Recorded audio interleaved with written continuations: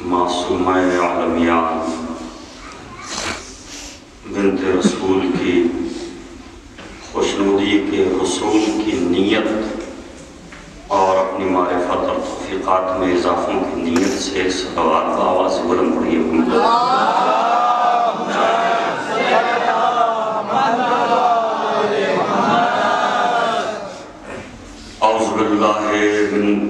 रजीम वसीम बसमीम अल्हम्दुलिल्लाह रब्बिल आलमीन वस्सलातु वस्सलाम लिसय्यदतिना व मौलातिना फातिमता व अबीहा व बालिहा व बनीहा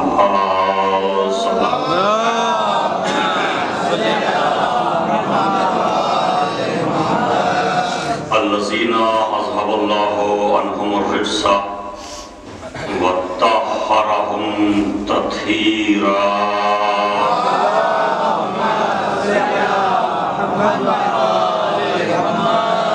वलानतुल्लाहि अला अअदाइहिम अजमईन मिन लैलिना इला क़ियामि यौमिद्दीन अम्मा बाद फ़क़त क़ाल हक़ सुब्हानहु व तआला बिस्मिल्लाहिर्रहमानिर्रहीम।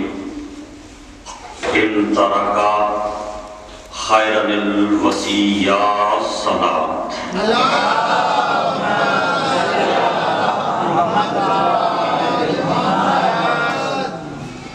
हज़रत,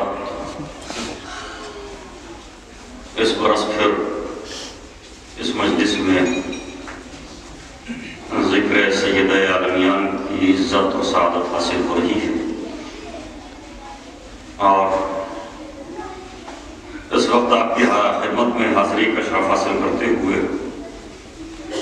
कुरान मजीद की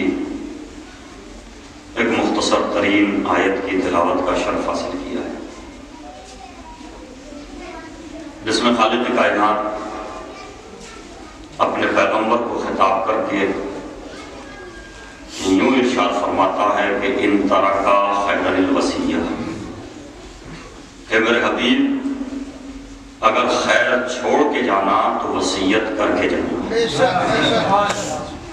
ये आयत कुरान मजीद में मौजूद है।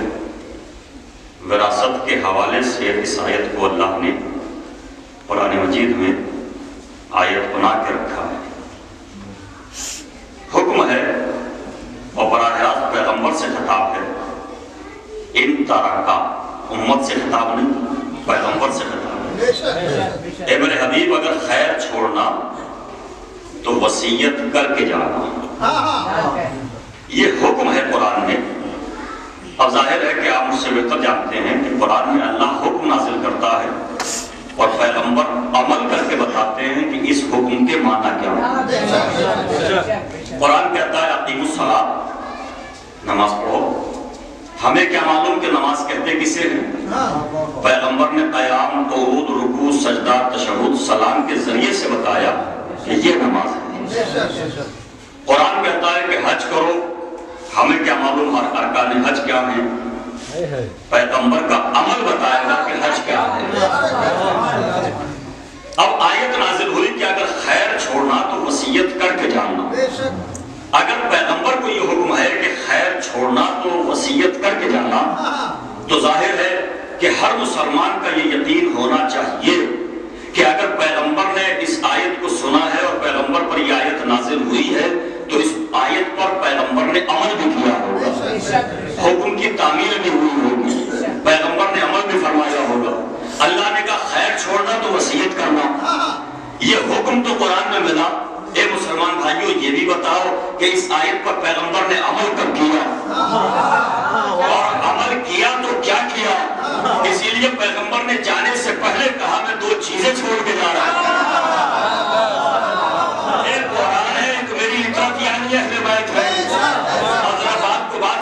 कुरान ने कहा, खैर, छोड़ना तो वसीयत करके जाना।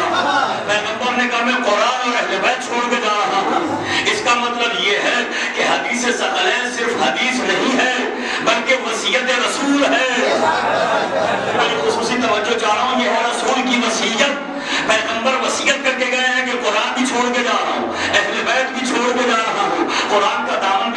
होना चाहिए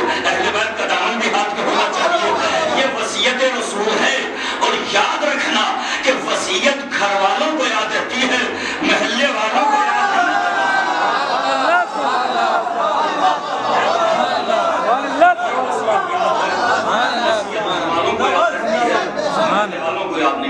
पर अमल घर वाले करते हैं। महल्ले वाले नहीं करते या पीछे का महल्ला भी अगर बेदार हो तो मैं जुमला दूसरा कर वसीयत घर वालों को याद रखती है, महल्ले वालों को नहीं। वसीयत उन्हें याद रहती है जो वसीयत करने वाले के आखिरी लम्हात के साथी रहे हो। जो आखिरी लम्हात के साथी रहे हो, जो ना गुस्ल में शरीक हो ना जनाजे में शरीक हो।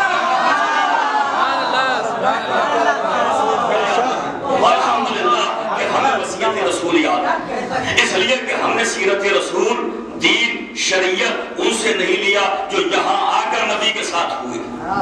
हमने दीन और शरीयत उनसे लिया जो आलम अनवार से मिम्बर गदीर तक। मैं पीछे जाऊँगा जो आलम अनवार से चादर तथीर तक से मिम्बर गदीर तक मिम्बर गदीर से दफन रसूल तक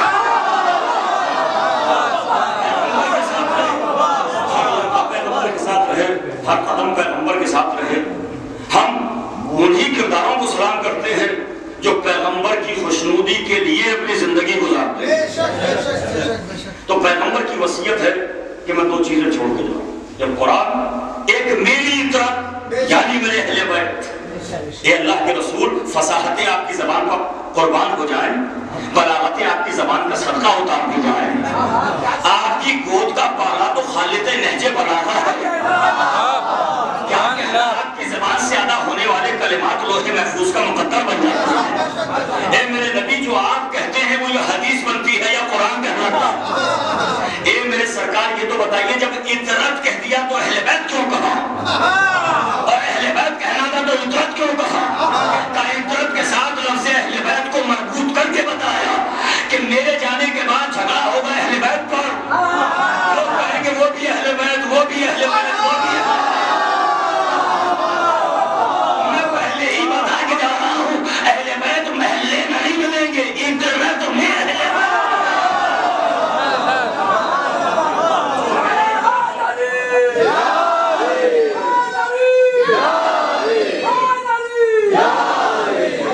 जो मेरी तरफ़ है वही है ये पैगंबर फरमा सरकार फरमा और जब सरकार ने यह फरमाया, ज़ाहिर है कि आज की गुफ्तु का किबला काबा मरकज महवर बीबी जनाब जहरा सलवातुल्लाह अलैहा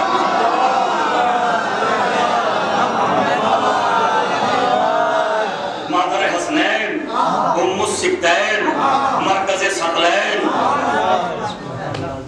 दुख्तर नबूवत हमसर विलायत मरकज सयादत मस्तर निजाबत सूरह कौसर की आबरू महवर बस में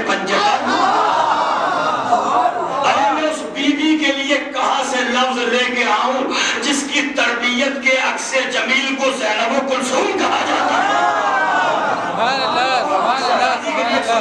मोहम्मद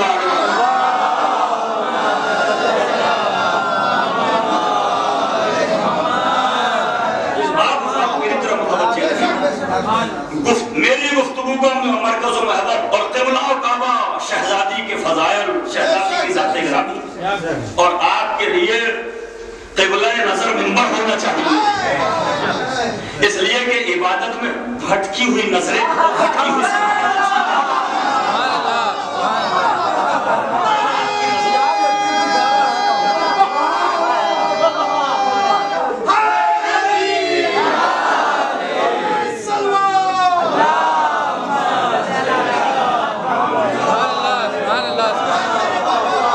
माशाल्लाह क्या ज़िंदा समात मजमा है ज़िंदा समात मजमा मैं सना दे रहा हूँ जिसे पूरी ज़िंदगी में पापा है अल्हम्दुलिल्लाह वो ये सना दे रहा है कि ज़िंदा समात मजमा मेरे साथ लोग अपनी ज़िंदगी को अपनी ज़िंदगी की लाशों को अपने कांधों पर उठाए घूम रहे हैं।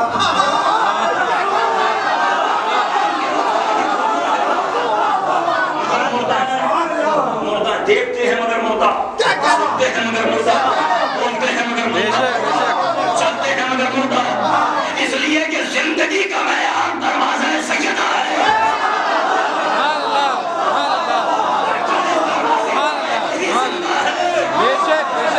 दरवाजे से हट जाता है वो मर जाता है तो नहीं कह रहा हूँ जो दरवाजे से हटा वो मरा जो ये दरवाजे पर ना आया वो ज़िंदा हो के भी मुर्दा। और जो इस दरवाजे पर आ गया वो मुर्दा हो के भी ज़िंदा। कोई तारीख ला के बताओ जिसमें लिखा हो सलमान मर गए। अरे जो मुहर्रम तक मरा हुआ था जब बतूल के बेटे के दरवाजे पर आया तो हुर बन के ज़िंदा बेशक बेशक सुभान अल्लाह सुभान अल्लाह सुभान अल्लाह सुभान अल्लाह भाई सुभान अल्लाह उनके दरवाजे पर आता है, वही ज़िंदा रहता है। अब जोश तकरीर में जोश अकीदत में जोश मोहब्बत में जोश तारीफ़ में मैंने कहा कि ज़िंदा समाज मजमा आप ज़िंदा है ज़िंदगी की सनद इनके ज़िक्र के साथ है। अगर कोई ये समझता है कि सिर्फ़ देखना, बोलना, खाना, पीना यही ज़िंदगी है, जब तारे नफस टूटेगी तो मौत आएगी।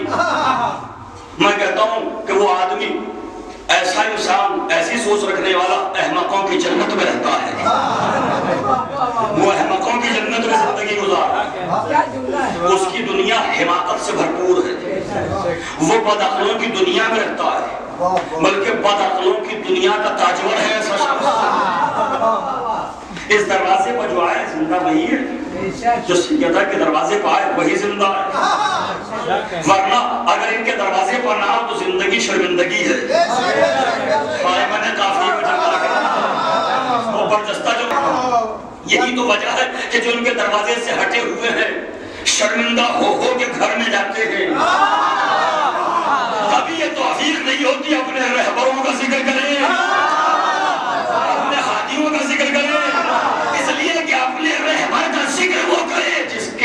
रहबर ने उसे कभी शर्मिंदा न किया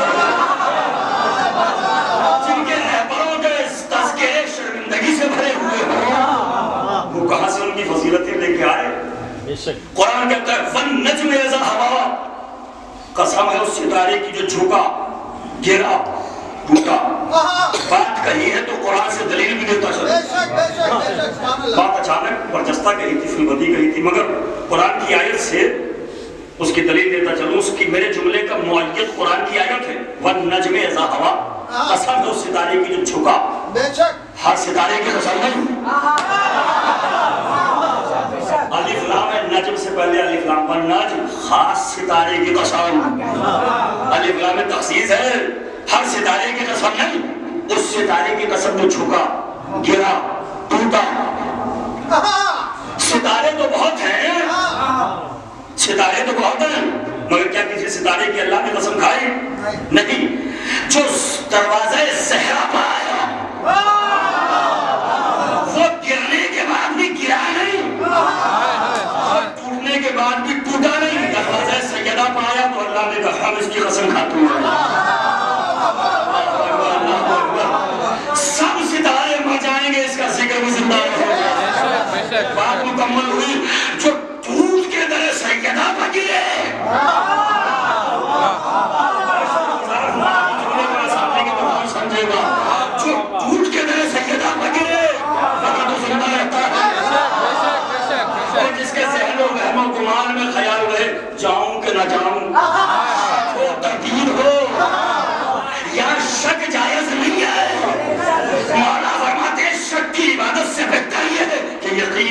सो जाओ ये नहीं कह सकता है जो शबे जब सो के अल्लाह की मर्जियाँ खरीद ले पर तशकीक नहीं तयक्कुन है सरकार से मुझे दाद भी चाहिए भवाई भी चाहिए तवज्जो भी चाहिए इस दरवाजे पर तशकीक नहीं तयक्कुन चाहिए न इस दरवाजे पर सुलहों में शक हो न जंग में शक हो। और जैसे शक इन पर हो या इनके दरवाजे पर हो उसके शजरे में हमें शक हो जाता है।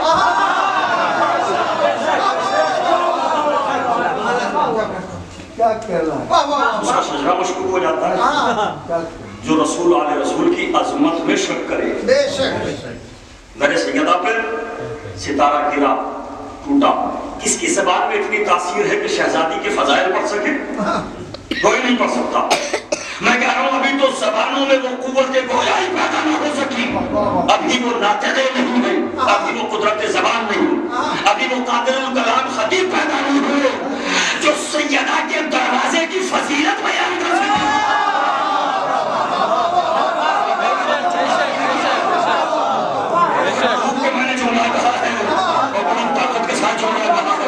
अभी तो अजमत सैदा समझ में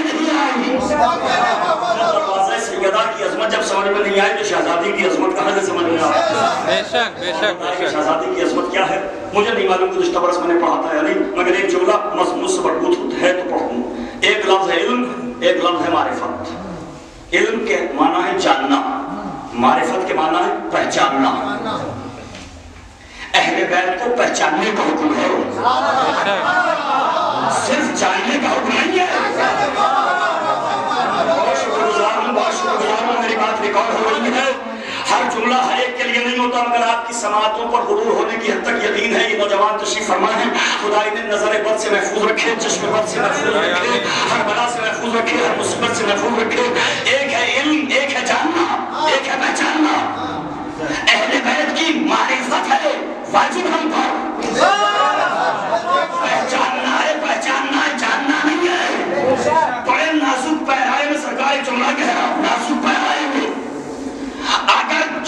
के मोहब्बत है तो मोहब्बत है। अगर पहचान के साथ मोहब्बत है तो मोहब्बत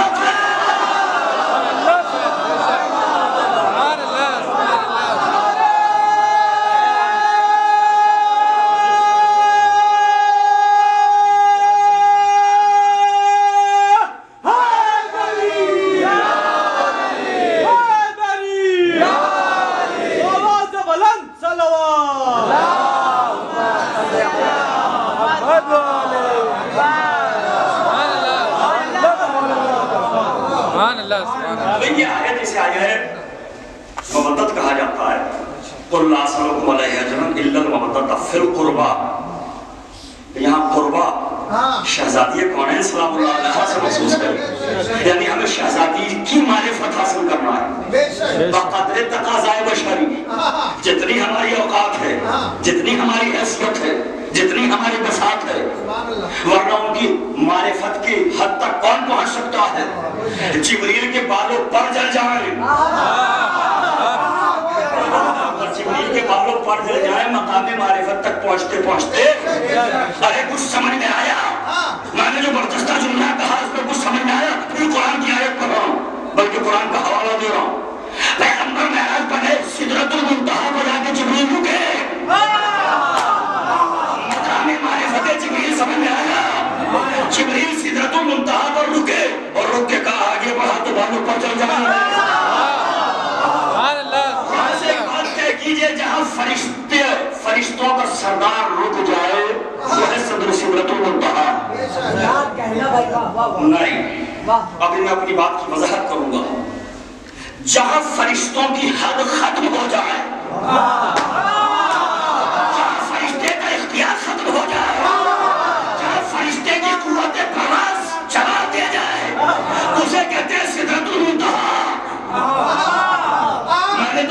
तो और में कुरान में कुरान की आयतों में यही देखा है वो है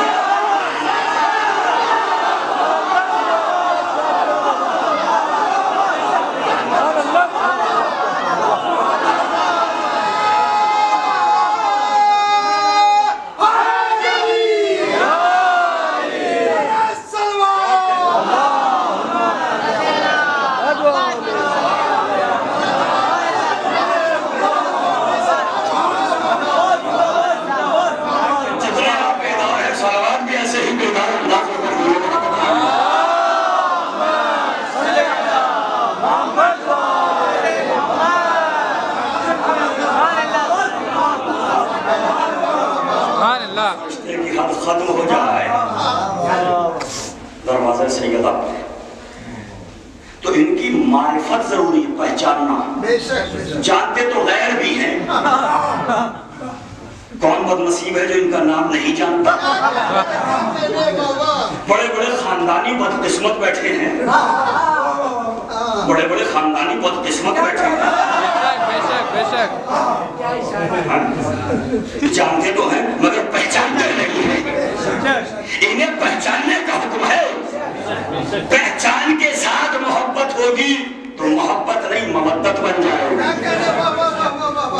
मवद्दत का हुक्म है उनसे अब बात इस कदर तेज़ी के साथ आगे बढ़ी, और समंदर है मेरे सामने, मैं सोच रहा हूँ किस किस लफ्ज की वजाहत करूँ।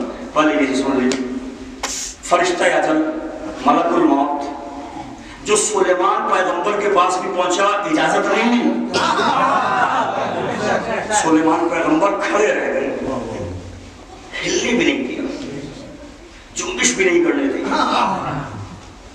और ये मर्तबा है शहजादी के दरवाजे का। मैं शहजादी का नहीं कह रहा हूँ, दरवाजे का कह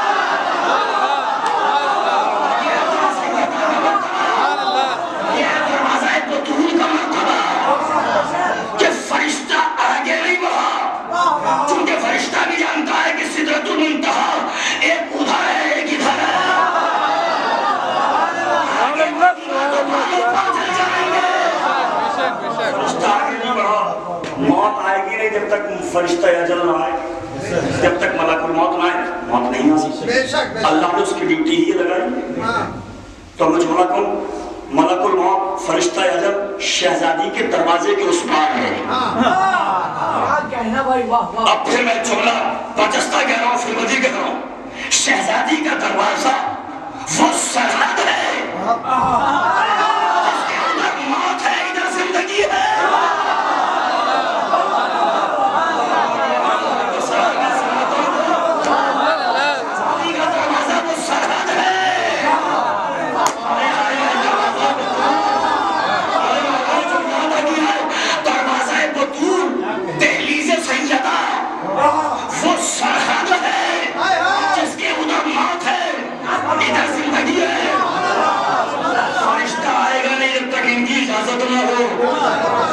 तो जब फरिश्ता नहीं आएगा इनकी सरहद में जब तक इजाज़त ना हो तो मौत तो आएगी नहीं और अगर चूँकि जाना सबको है इंतकाल होगा भी तो वो मरेगा नहीं।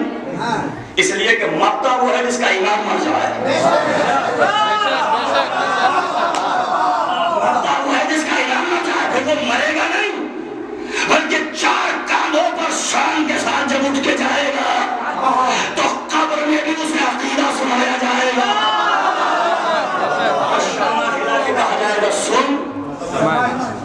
अच्छा जब सुन कह दिया तो समझ क्यों कहा सुन लेना काफ़ी था ये क्यों इफाम समझ यानी यहाँ पर ये भी पैगाम दिया जा रहा है कि इस्लाम खाली सुन लेने का नाम नहीं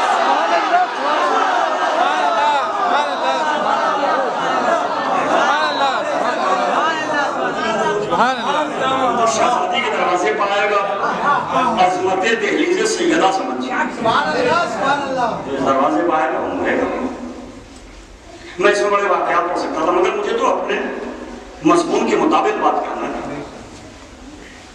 जो दरवाजे सैयदा पाया सरहद पा गया। अब ये उसकी मर्ज़ी है।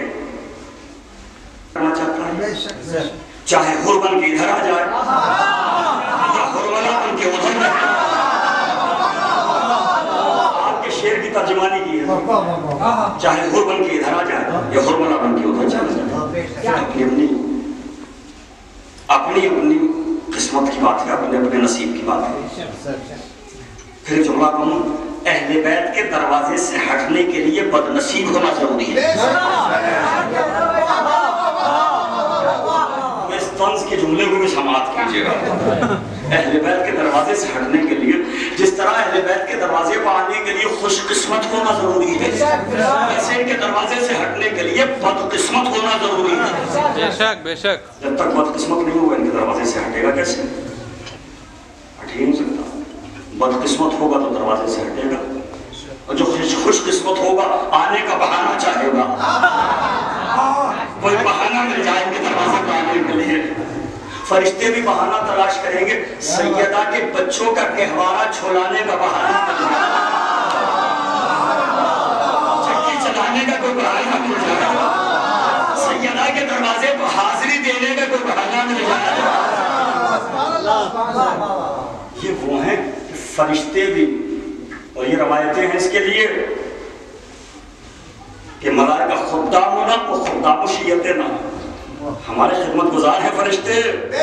मासूम फरमाते हैं। और उस मंजिल पर आ जाओ कि हमारे शिया कहलाओ। तुम्हारे भी खिदमत गुजार हो जाएँगे। फरिश्ते, खैर इसकी वजाहत का तो वक्त भी नहीं। और मौका है भी फिर कभी सही इंशाल्लाह मगर दरवाज़ा शहजादी कौनैन पर। फरिश्ते भी आते हैं तो बालों पर समेट के आते हैं। बालों पर समेट के आते हैं। हाँ। ये जुमला उनके लिए है जो फर्शी अजा पे तकब्बुर के साथ आते हैं। घमंड के साथ आते हैं। वाह लिबास की चमक दमक के साथ आते हैं। जो जो समझते हैं हम बड़े मजलिस छोटी कायनात छोटी है मजलिस हुसैन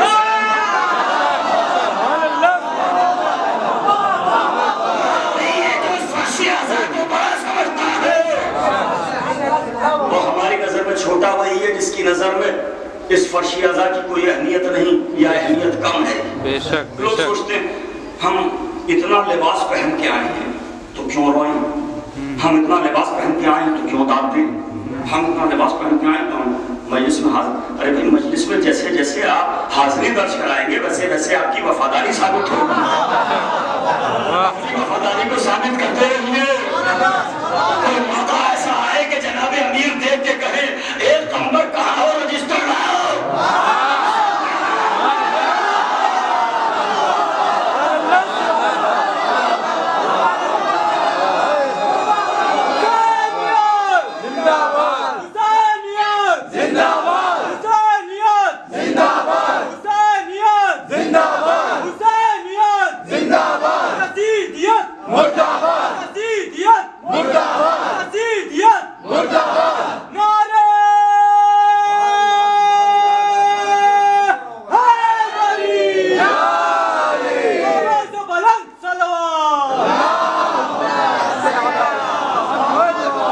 सुभान अल्लाह सुभान अल्लाह सुभान अल्लाह जिसका नाम उस रजिस्टर में लिखा सुभान है और आज उस रजिस्टर में नाम लिखवाने का बेहतरीन नुस्खा फार्मूला और तरीका मैं बता रहा हूँ आज की मजलिस में खास तौर से बेशक बेशक जो जो ये चाहता है कि आज की मजलिस में जनाब अमीर हुक्म करें कि कम्बर हमारा नाम उस रजिस्टर में दर्ज कर दें जिसमें अहले बैत के वफादारों के नाम लिखे उस उस पर ज़रूरी है कि बीवी के कातिल पर लानत पड़े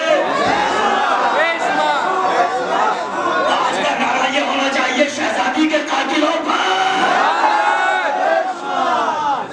अब लगाइए आप ये नारा शहजादी के कातिलों पर आज़ादी के कातिलों पर आज़ादी के कातिलों पर बनाने अहले बैत पर नारे हैदरी आवाज़ बुलंद सलवा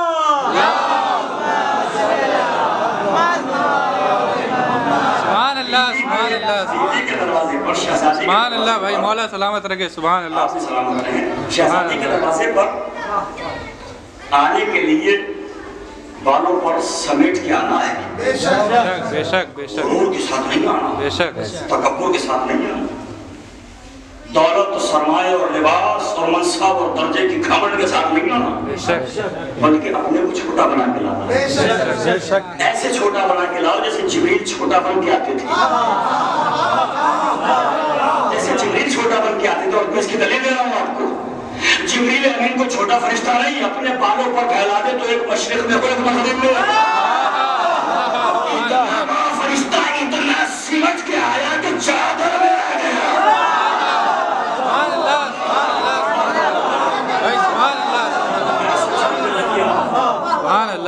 ऐसे छोटे बन के आना है जैसे जोहरा नामी सितारा चला था। अपने सारी बुजुर्गी को सैयदा के दरवाजे की बरकत समझ के चला। और ये जानता था कि हमारी कितनी भी औकात और हैसियत है कैसे कहूँ ये जुमला शहजादी के नक्श कदम से बहने वाले इंफियाल के नतीजे में अल्लाह ने सितारों को बना दिया सुभान अल्लाह सुभान अल्लाह शहजादी के कदमों में जो पसीने के कतराता है अल्लाह ने उसे सितारे बना दिए और इसमें ताज्जुब न करना जब बाप की पेशानी पर आए थे, पसीने के कतराते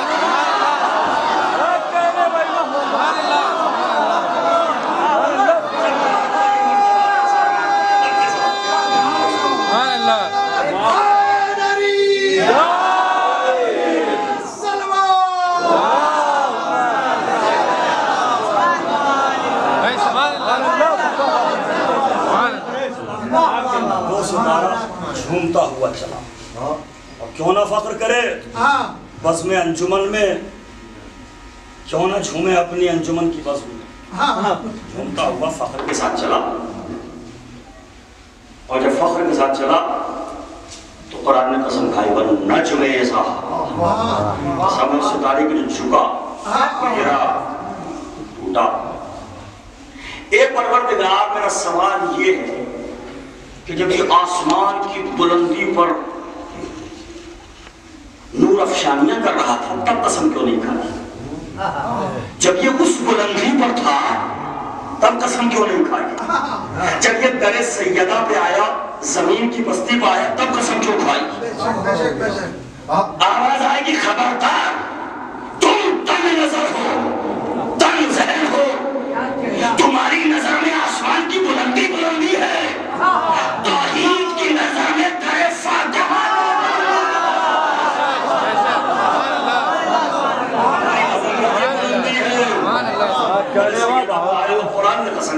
कसम उससे की अब मैं इस पूरे मजमे को मुतवज्जे करके ये बात पूछना चाहता हूँ।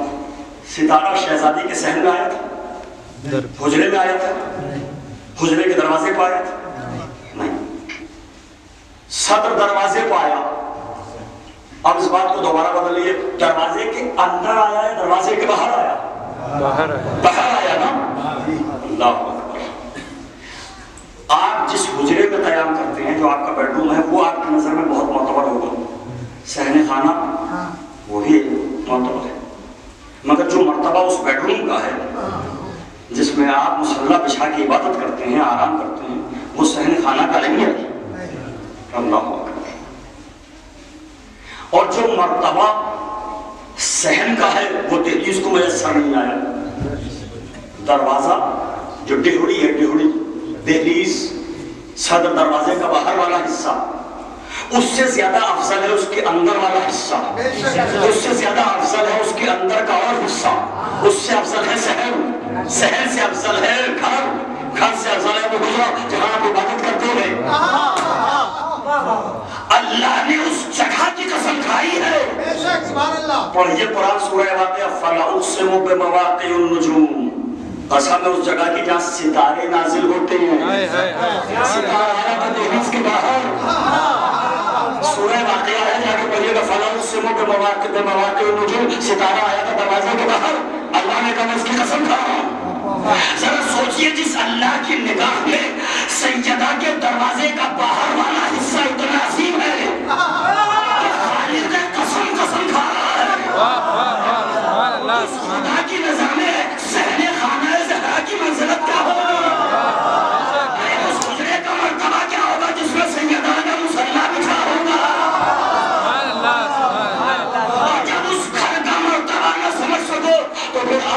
मुझसे कहना कि आपने सही कहा था।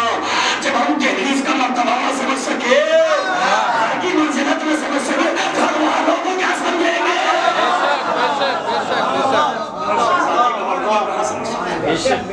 दहलीज पर आया सितारा दहलीज के बाहर आया सितारा और सितारा सितारा था तो आया बेशक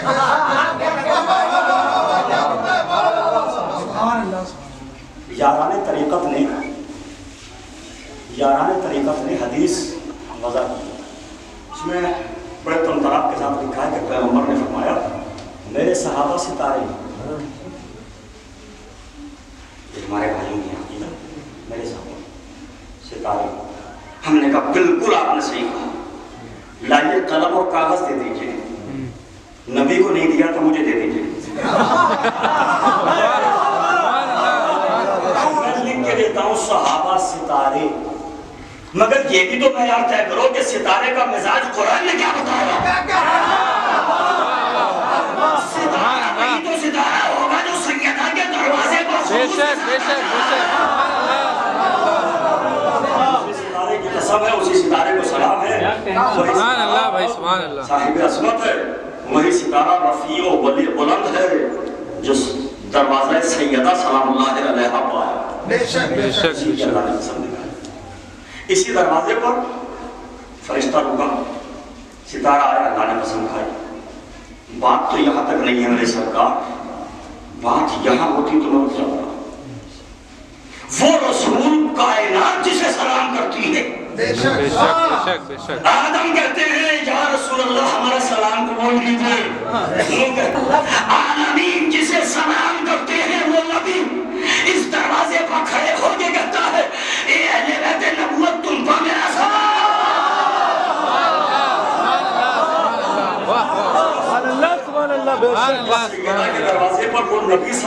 जिसे कायनात सलाम कर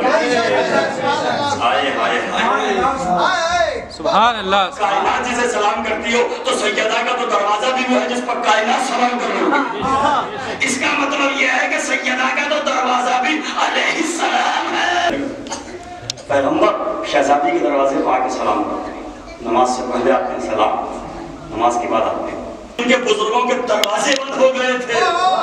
वो भी अपने मुँह जबान खोल खोल के अहले बात के खिलाफ बोल रहे थे। हाँ जिनके दरवाजे ही बंद हो गए। जिनके दरवाजे ही बंद कर दिए सैयदा का दरवाज़ा खुला रखा। क्यों? इसलिए कि दरवाज़ा मख्तलफ रहमा फिर जियारत का फिक्रा मेरे मौला ने मेरी जबान से अदा कराया और गैर इरादी तौर पर जबान से मेरी अदा मख्तलफ रहमा शहजादी का दरवाज़ा क्या है? मख्तलफ रहमा मख्तलफ मलाइका इस बात को आप ऐसे समझिए कि कभी कभी अभी जियारत बरामद होगी ताबूत बरामद होगा। आप एक दूसरे से इख्तलाफ करने लगते हैं पहले मैं जियारत करूँगा। वो पहले मैं जियारत करूँगा। समझ रहे हो मेरे नौजवानों? जब जियारत बरामद होती है तो मैं चाहता हूँ आप मुझसे मुझसे पहले ना जाए मैं पहले चला जाऊँ। आप सोचते हैं मैं पहले चला जाऊँ वो सोचते हैं मैं पहले मैं पहले मैं पहले जहाँ ये जज्बा हो मैं पहले ये है मुख्तलफ मुख्तलफ मतलब ये है कि अल्लाह के घर से चली हुई रहमतें जहाँ भीड़ लगा के जमा हो जाए और हर रहमत ये गए इस दरवाजे पर करने में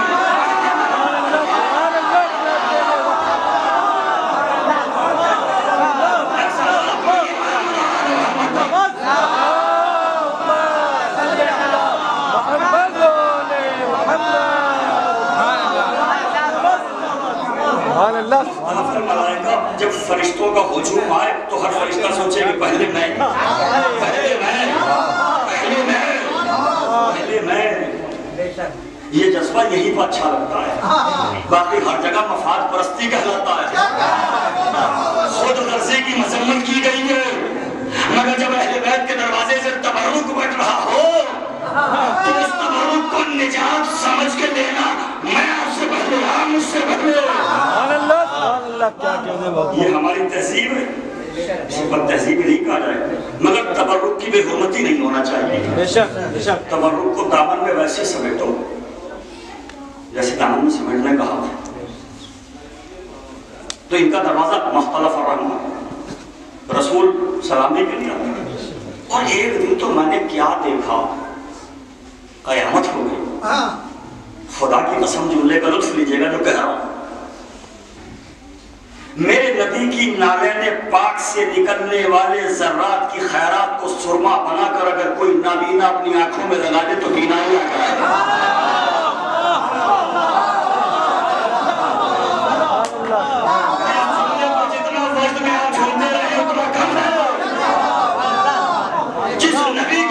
ने पाक से निकले हुए जरात नाबीना को बीना अता कर रहा था जब उस नबी ने अपने बदन में जौफ महसूस किया।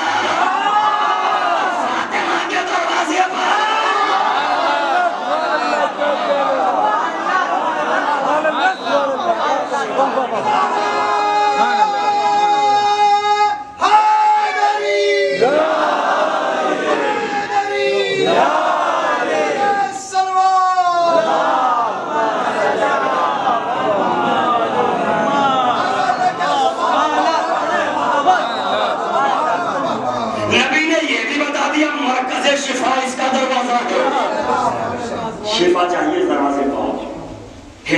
चाहिए इस दरवाजे बेशक इज़्ज़त चाहिए इस दरवाजे बेशक और इस दरवाजे पर सर उठा के इज़्ज़त तलब करना सर झुका के इज़्ज़त तलब करना। इसलिए कि सैयदा के दरवाजे पर जितना जितना सर झुक जाता है फिर वो कायनात के सामने किसी के सामने सर नहीं झुकता। सर दरवाजे पर सर झुक जाए कायनात के सामने नहीं झुकता। बेशक बेशक। जो हाथ इस दरवाजे पर फैल जाता है ये कि किसी के सामने हाथ फैलाने का मजबूर नहीं होता बेशक बेशक बेशक। जो दरवाजे पर हाथ फैला देता है। मगर शर्त है कि खुलूस के साथ आओ मोहब्बत के साथ आओ मारिफत के साथ आओ। बेशक बेशक। जानना नहीं है पहचानना है। आते सब है कोई मजबूरी में आता है। जब कहीं कुछ ना मिले तो इनके दरवाजे पर मजबूरी में आता है। मगर जो शरीफ लोग हैं जो पाक तीनत से हैं, जिनका खून पाक है, जिनकी तबीयतें पाक हैं, वो हर वक्त इनके दरवाजे पर आना इबादत समझते हैं। बिल्कुल उसी तरह जैसे फरिश्ते इनके दरवाजे पर आना इबादत तो पैगंबर इस दरवाजे पर आए और आने के बाद कहा मेरी लखते जिगर इन्नी लाजे तो फ़ी बदनी जाफन। मैं अपने बदन में जाफ महसूस करता हूँ। समातों के बदन में अगर कुछ जौफ हो मजलिस मुसलसल सुनी है आपने अगर समातों के बदन में जौफ हो गया हो तो शहजादी की चादर का ज़िक्र कर दो। ताकि आप सबकी समातें शहजादी की चादर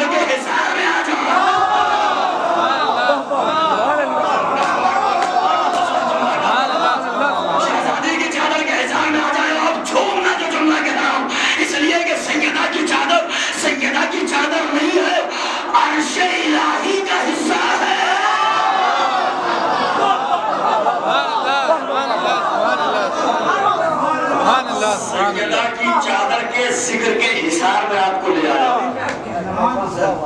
खुद भी इन्हीं की चादर के ज़िक्र के हिसाब में रहते हुए बात को आगे बढ़ा मैंने ये देखा खुदा सलामत रखे हमारे बुज़ुर्ग जनाब हसन अली साहब को जाकर पर जगह जगह पर जाकर ड्यूटी दे रहे इस उम्र में सफ़र इस उम्र में इतनी मेहनत। मैंने ये देखा कि फजाइल में भी कैफियत अजीब है।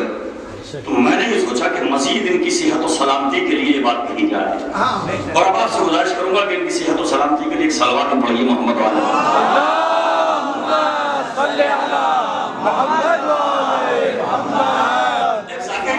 जाकिर ही समझ सकता है। ये हमारे तो बात है कि पढ़ी भी है सुन भी रहे। वरना होता यह है कि एक खुद पढ़ता है दूसरे को सुनता नहीं है। असल में दीनदार कम है दुकानदार ज़्यादा है। बेशक बेशक बेशक बेशक।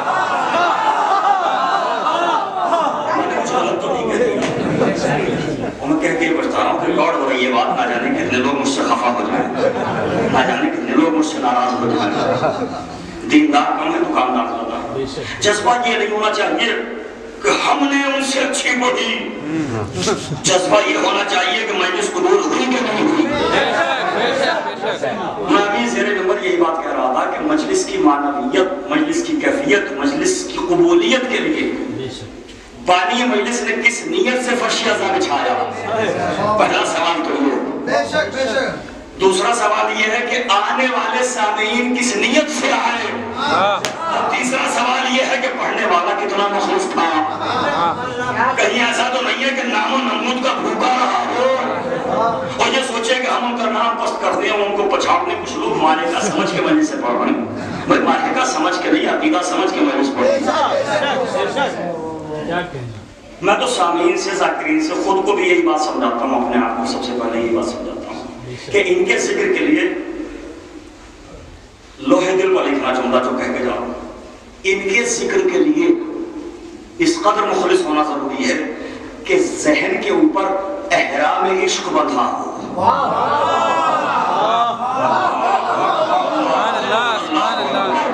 खुदा सबको की फरमाए तो की समझ में आएगी एहराम इश्क बंधा हो इश्क जहन के ऊपर बांधने के लिए क्यों कह रहा हूँ?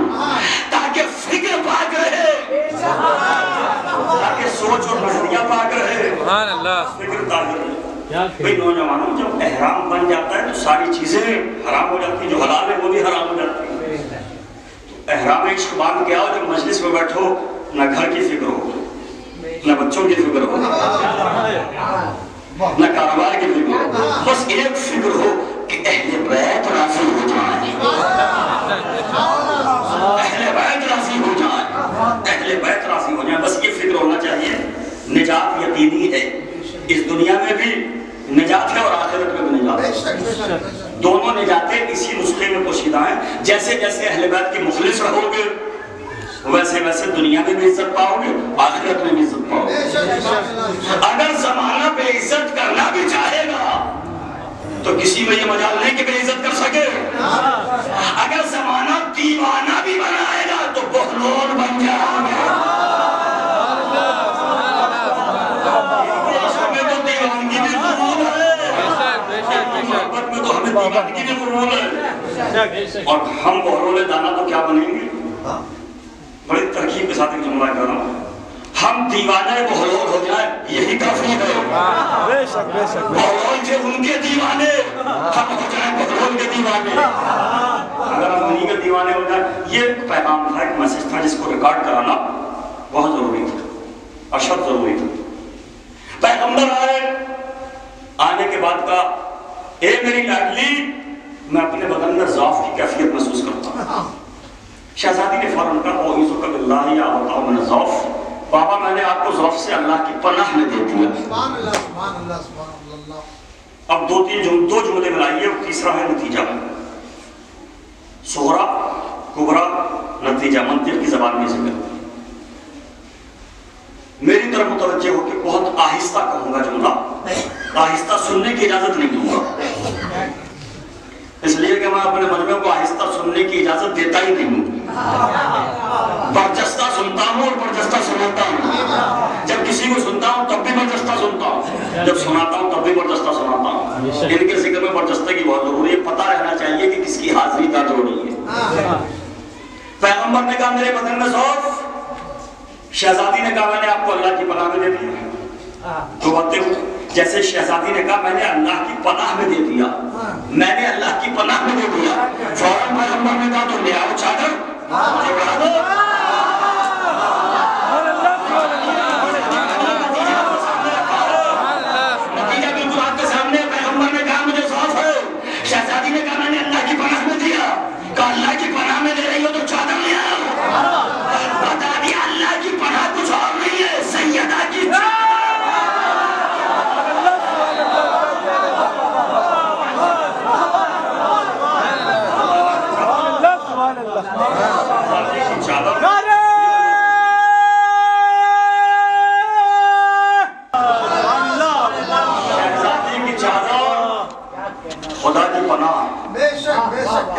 जवाब नहीं वाह वाह खुदा की पनाह बेसाया नबी बेसाया नबी बेसाया नबी जिसकी चादर के साए में आ जाए। उसे सैयदा कहते हैं। अजमत चादर ज़्यादा समझ में आई अल्लाह ने जिस नबी को साया नहीं दिया उसे चादर जहरा के साइबान में दे दिया। और फिर हिसाब हो गया। हिसाब? इन नमा आप अक्सर सुनते इन नमा लफ्ज है। बैत का तारुफ कहाँ कराया खाना काबा के अंदर ले जाके जमा करा सकता था तारुफ। सबसे कहता हो। काबे में चलो। सबको काबे में बुलाता। गैलाफ काबा होता। सब जमा होते अल्लाह कहता ये है मेरे अहले बैत। काबे में नहीं बुलाया। चादर जहरा में बुलाया। अहले बैत का तारुफ कराने के लिए। इसलिए कि काबे में तो गैर मासूम भी जा सकता है। चादर जहरा। वाह वाह वाह वाह वाह। हरे की गुंजाइश नहीं है। बेशक बेशक जो बीबी खैर पहर। हाँ, जो अमीन खाके शिफा है। सरकार ने जुमला कहा है जनाब सलमा सलामुल्लाह के लिए अमीन खाके शिफा है। पैगंबर ने कहा तुम खैर पर हो। मगर अहले बैत में नहीं हो बेशक बेशक बेशक पुराने उलमा जाकिरीन पढ़ते आए जब खैर वाली अहले बैत में नहीं तो कोई शर वाली अहले बैत में कहाँ से? पुराने जाकिरीन उलमा पढ़ते चले आए। शहजादी की चादर को साहिबान बनाया हिसार बनाया हिसार किसे कहते हैं? पहले जरा सा अपने नौजवानों को यही भी बता अब आप इतना परदस्ता सुन रहे हो, इतना अच्छा सुन रहे हो दिल नारे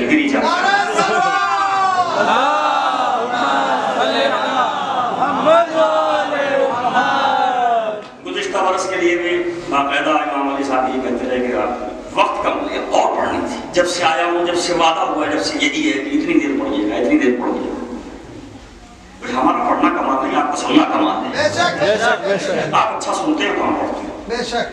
हिसार समझिए क्या? है, फिर चादर सैयदा समझ में आएगी। हिसार। एक आमिर बैठा ज़मीन पर।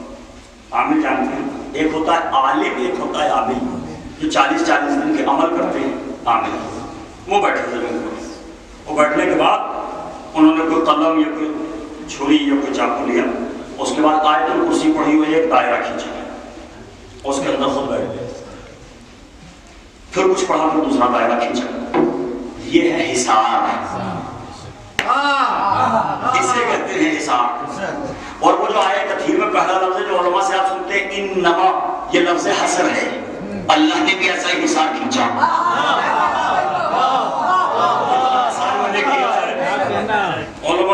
हिसार पर बात करते चले जाते हैं और लोग सोचते हैं कह क्या? मैंने इसको बहुत आसान करके आपके सामने रख दिया। इस हिसार का फ़ायदा क्या होता है? आप हिसार खींचते हैं ना नाते अली का। जब कोई मुश्किल दिखाई देती है तो उंगली ऐसी होती है और आप हिसाब खींचते हैं।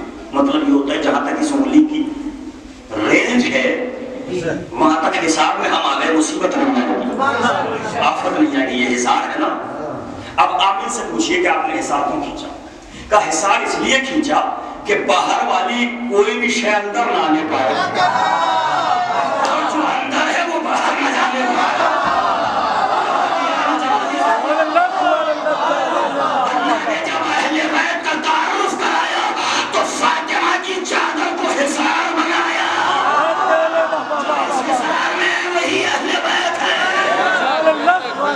मेरे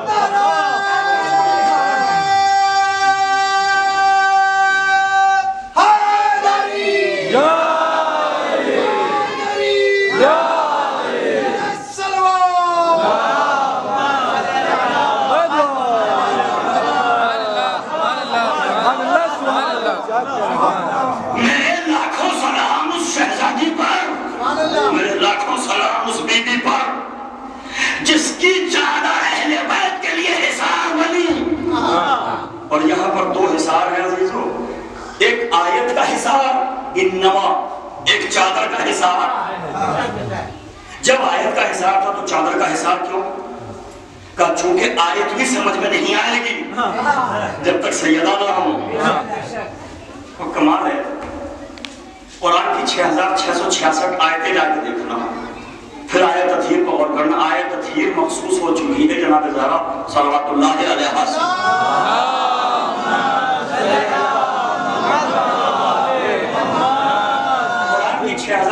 सौ छियासठ आयतें जाके देखना कोशिश करूँगा कि जुमला पहुँच जाए। नहीं पहुंचेगा तो कोई दूसरी बात करूँगा पर कोशिश करूँगा, आप भी कोशिश कीजिएगा कि वसूल कर पाए आप मेरे जुमले को। छह हज़ार छह सौ छियासठ आयतों में कोई चादर पर्दे में नहीं आई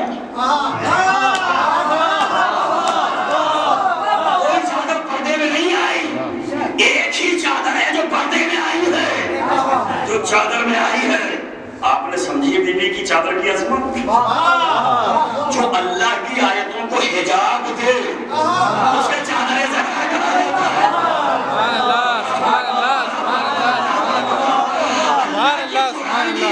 जिसके हिजाब में पोशीदा हो जाए।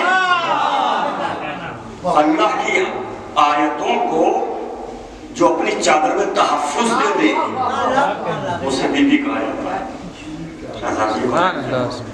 और ये भी क्या खूब बात है बात से बात पैदा हो रही बात से बात आ रही है।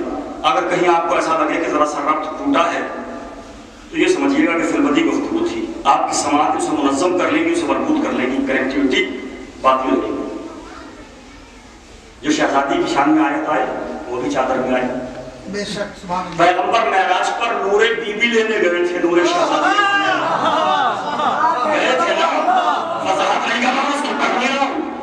मगर आपके चेहरे पढ़ के देख रहा हूँ तो मजलिस में कितने हाजिर हैं आप। ये महराज जो रात में हुई, दिन में भी हो सकती थी।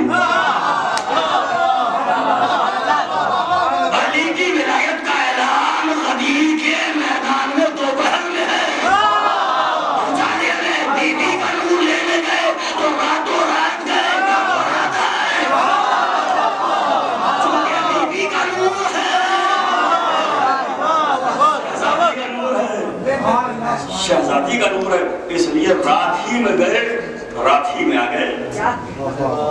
जिस शहजादी के नूर का सफ़र भी रात में है। अच्छा पैगंबर आए। आगे जौफ के लिए कहा शहजादी ने चादर दे दी अब उसके बाद सुल्तान समावात बैठे। आसमान पर रहने वाले। दो लफ्जे हैं हदीसे के साथ। मलाइका और सुल्तान समावात मलाइका यानी फरिश्ते सुल्तान समावात आसमान पर रहने वाले हैं। इसका मतलब कुछ और भी मखलूक ऐसी है आसमान पर जो ज़िक्र अहले बैत सुनने के लिए ज़िक्र अहले बैत सुनने के लिए आबे कौसर से वज़ू करके बस में के बैठे सुभान अल्लाह आप हदीस के साथ पढ़ते हैं ना या मलाइकती व सुब्हान समा मलाइका वाव बता रहा है कि ये अलग है मलाइका अलग है। न जाने कितनी मखलूक थी। जब अल्लाह ने कहा कि मैं ये ना बनाता ये ना बनाता ये ना बनाता वो गरीब की मोहब्बत में बनाया। हदीस की सानी पढ़ो एक जुमला आया है वो जुमला ज़रूर हो दिया करूँगा। और आपके मिजाज के बिल्कुल मुताबिक है। इसलिए इसमें कोई बुखल नहीं। यूँ भी बकीलों का मिंबर थोड़ा ही है। का मिंबर है। जब फरिश्तों ने देखा सबका ने समावात नहीं कि अल्लाह इतने फजाइल पढ़ रहा है कि इनके सदक़े में हमें बनाया है। आसमान ज़मीन लो कलम अर्श कुर्सी फलक मलक चरिन परिन तुयूर समंदर जानवर सब कुछ इनके सदक़े में बनाया। जो कुछ है जो है इनके सदक़े फरिश्ते जमा थे और उसके बाद हज़रत जबरील ने आगे बढ़ के कहा या रब्बे वमन तातल के साथ। परवरदिगार इतने फजाइल पढ़े ये भी बता दें, चादर में है।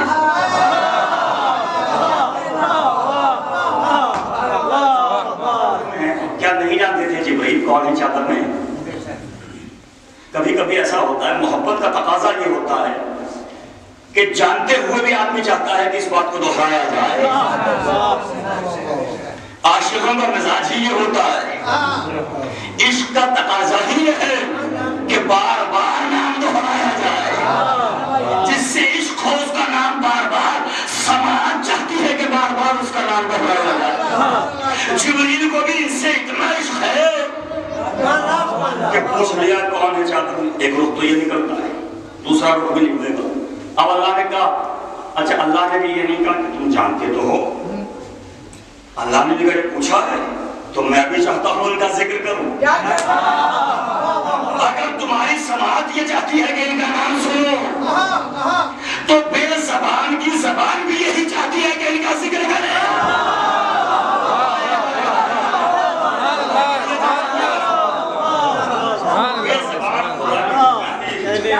अल्लाह। वे जिस्म खुदा की जबान भी यही चाहती है। मैं भी ये चाहता हूँ कि इनका ज़िक्र करूँ। फरमाया हुम फातिमा तो व अबूहा व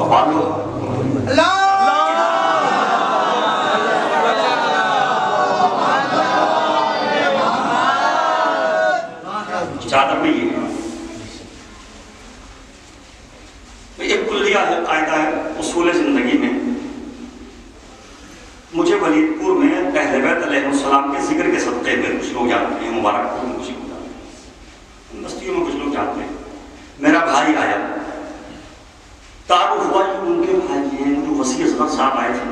मुजफ्फरनगर से वसी असगर जैदी पाशा ये उनके भाई। फिर मेरे बेटे आए। तारुफ उनके भाई उनके बेटे हैं ये। ये उनके फला अज़ीज़ हैं। तो तारुफ का एक तरीका ये है कि जिस शहर में जिसकी ज़्यादा शोहरत होती है हाँ। उसी के नाम से तारुफ होता है।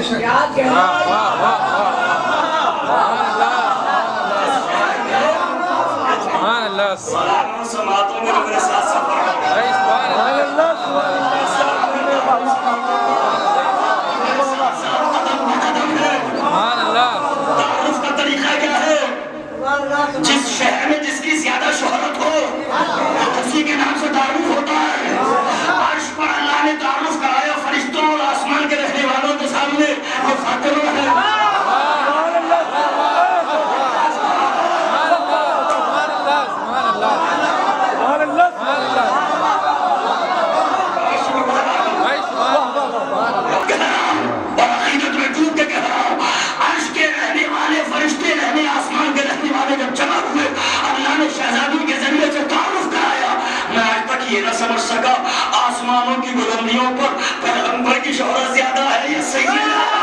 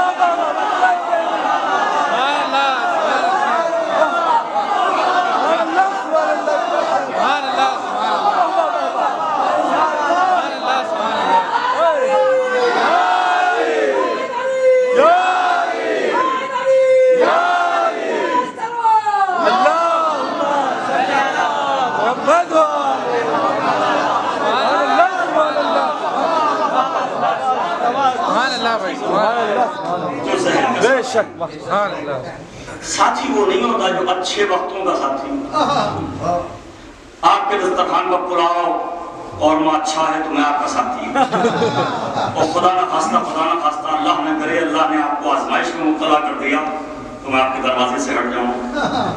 कुछ लोग तो रसूल के इसीलिए साथी हो गए कि सैयदा की माँ की दौलत थी। उस दौलत के नतीजे में न जाने कितने खानदानी फकीरों के फाके टूटते रहे। पैगंबर के साथ। रहे। तो सैयदा की वालिदा ग्रामी हमें पता नहीं क्या कहना चाह रहा हाँ खदीजतुल कुबरा सलाम अलैहा। हमारे दाखिल सलाम इस बीवी पर। एक जुमला ज़रूर कहूँगा चूँकि वैसे तो मैं चाहूँ तो घंटा डेढ़ घंटा यहाँ मैं खदीजा के मौजूद पर पहुँच सकता हूँ पर मुझे मेरे भाई रात शायद मोहम्मद हुसैनी साहब बोल चुके हैं। पर और यूँ मैंने कहा कि मेरी गुफ्तु का मरकज सईदा बिल वास्ता या बिला वास्ता। शहजादी कौन सलाम का ज़िक्र अजीम। के लिए मैं सिर्फ़ एक बात कहता हूँ। पैगंबर की उन बीवियों में से है जो बच्ची भी नहीं कमसिन भी नहीं लड़कपन भी नहीं बालिग नज़र खुश फ़िक्र संजीदा तबीयत। क्या कहना भाई? वाह वाह वाह। कोई जिद भी कभी नहीं की। हाँ। चूँकि शहजादी क्या कहना भाई? वाह कोई जिद भी नहीं की। लेट आप हैं मैं नहीं हूँ। मैं बर वक्त था तो मैंने आपको बर वक्त करने की कोशिश नहीं की थी। सुभान लेट आप हुए हैं मैं नहीं हुआ। मैं आज सुबह का खोया शाम को घर आया है। अल्लाह वाह वाह। खदीजतुल कुबरा बचपन भी नहीं लड़कपन भी नहीं। जिदे भी नहीं। वाह वाह वाह। वो गाज का मेला भी नहीं देखा। सुभान अल्लाह सुभान अल्लाह गुलामों का नाच भी। अल्लाह सुभान अल्लाह संजीदा तबीयत खातून है खदीजतुल कुबरा मलिकतुल अरब है। बेशक। मलिकतुल अरब है शहजादी। खदीजतुल कुबरा। दूसरे देख लें। नारे सलवान मोहम्मद वाले मोहम्मद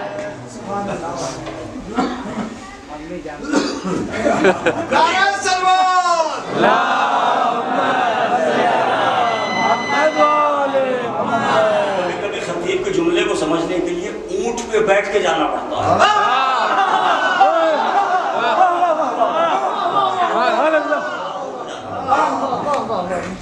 कुबरा हम सलाम क्यों खदीजतुल कुबरा कितनी बड़ी दौलत अरब की अरबपति खातून है कितनी बड़ी दौलत है घर में कभी फाके नहीं। की मगर यहाँ अपनी सारी दौलत पैगंबर के कदमों पर उठा दी। और अब फाके भी हैं। अब चक्की भी खुद चला रहे कभी शिकवा नहीं आया जबान। बेशक कभी शिकवा नहीं आया। कभी शिकायत नहीं। अब मैं जुमला कहना चाहूँगा। उस जुमले को महसूस कर लीजिएगा बीवियाँ होती हैं दो तरह की। दो तरह की। एक वो होती है जो ज़िंदगी की साथी हो।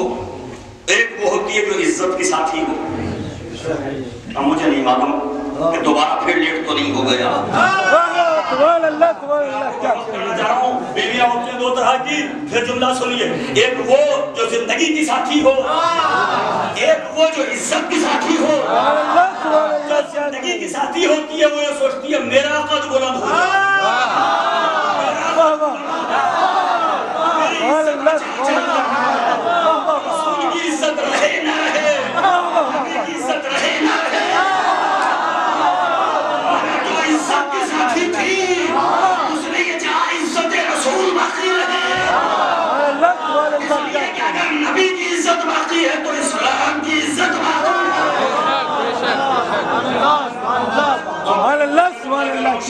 वालिदा को खिराज अकीदत पेश कर रहा हूँ आप सबकी तरफ़ से दूसरा जुमला भी सुन लीजिए कुरान ने कहा कि ये मुसलमानों मोमिनों की माएँ हैं मुसलमानों की माएँ हैं जो भी नबी के हरम में आ रही माँ खुदा की कसम। मगर ये हमारी माएँ हैं। मुसलमानों की माएँ हैं उम्मुल मुस्लिमीन हैं। हैं? मगर शरफ की बात सुन लीजिए। सबके शरफ अपनी जगह खदीजा का शरफ अपनी जगह। सब मुसलमानों की माएँ हैं।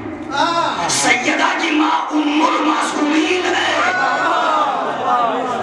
मैं बदल के कहता हूँ मिल्लत होना और है इस्मत होना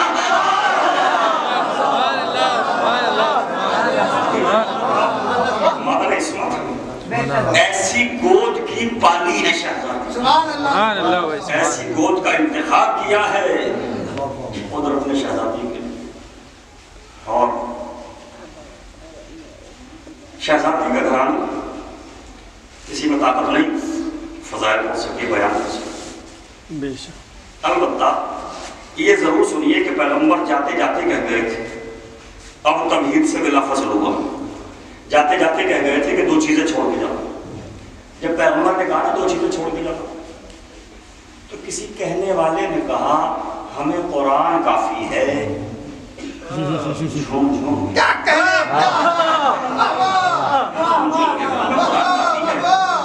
बात नहीं मज़बूत करूँगा मुतवजह रहिएगा हमें कुरान काफ़ी है। अहले बैत की ज़रूरत नहीं। बुत परस्ती की पुरानी आदत ने न बोलने वाले हादी का तो इकरार कराया। क्योंकि इनकी तो आदत खराब है रोकने वाला टोकने वाला तो चाहिए नहीं। लोगों को हर जमाने में लोगों को भी चाहिए जो ना बोलता हो ना रोकता हो ना टोकता हो। कुरान का पैगंबर के सामने क्या दावा है? हमें कुरान काफ़ी हम कुरान वाले शहजादी हक लेने के साथ साथ हक के मुतालबे के साथ साथ एहतजाज के साथ साथ दरबार में इसलिए भी आए हाँ। ताकि इनके इस दावे को झूठा साबित कर सके। के सामने कहा हमें कुरान चाहिए। और जब शहजादी दरबार में आई और दरबार में आके अपना हक मांगा। हदीस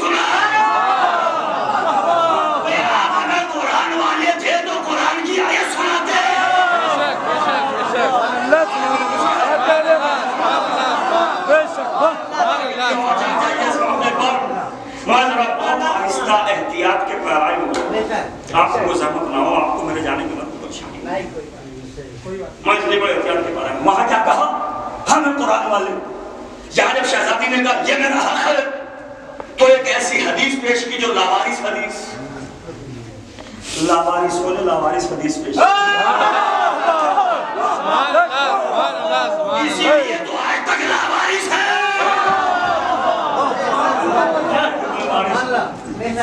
कभी कभी अपने जुमले की खुद ही करना पड़ती है लावारिस मैंने तो कहा भी सुन उस हदीस का मतलब ये बनाया गया नहनो मुआशिरुल अंबिया, ला नूरसो वला नूरस। हम गिरोह अंबिया न किसी को वारिस बनाते हैं, न किसी के वारिस होते हैं। तो ये लावारिस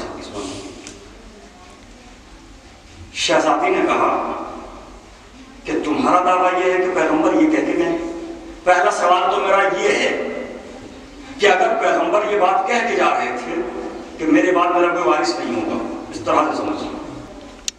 ना मैंने किसी की विरासत की बात, दादा की मैंने विरासत नहीं की। और ना मेरा कोई वारिस होगा। इस हदीस का मतलब ये निकलता है। तो अगर ये कह के जा रहे थे तो सबसे पहले घर वालों से कह के जाते फिर कुरान की आयत है जब इस्लाम की तबलीग का आगाज़ हुआ फंजिर अशीरतकल अक़रबीन सबसे पहले अपने कबीले के लोगों को दावत दो। तो जब इस्लाम की पहली दावत थी तो कबीला याद आया। और जब इतनी बड़ी बात कह के जा रहे थे तो घर वालों से नहीं कह गए एक ही आदमी से कह गए मैंने क्यों कहा ये भी सुन लीजिए? हदीस की टर्मिनोलॉजी होती है होती है। एक होती है खबर अहाद। हदीस के होते हैं रावी। किसने किसने किससे सुना? का मैंने इनसे सुना। इन्होंने इनसे सुना। उन्होंने उनसे सुना। उन्होंने उनसे सुना। उन्होंने उनसे सुना। बात जाती है मासूम तक। तो पता चलता है कि इस हदीस के रावियों में सौ लोग हैं सत्तर हैं अस्सी हैं साठ हैं कितने लोग हैं? और फिर उनका पूरा शजरा देखा जाता है कोई छोटा तो नहीं है।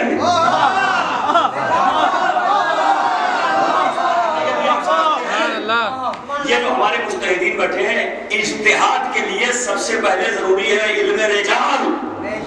रिजाल जमा है रजुल की। रजुल कहते हैं मर्द को।